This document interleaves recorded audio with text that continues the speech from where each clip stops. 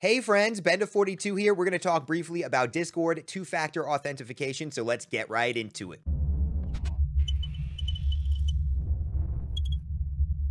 And really, we're just going to talk about how you get there. So I, am figure you could follow the instructions the rest of the way. Let's go ahead and go into our user settings, the little cog wheel down here on the bottom. Click that, and this is where you're going to find your activation for the two factor authentication right on your page here.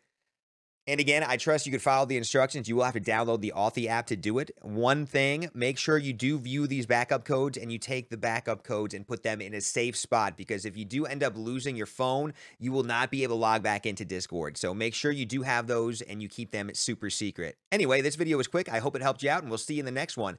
Bye.